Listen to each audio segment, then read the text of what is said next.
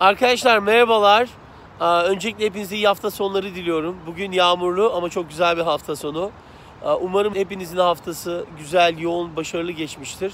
Ve gelecek haftası da başarılı geçecektir diye umuyorum. Şimdi başarı derken tabii alın teri dökülmemiş ya da koşturulmadan elde edilecek başarı şunu söyleyebiliriz. Zamanın çorak çöllerinde kuruyup yok olmaya mahkumdur.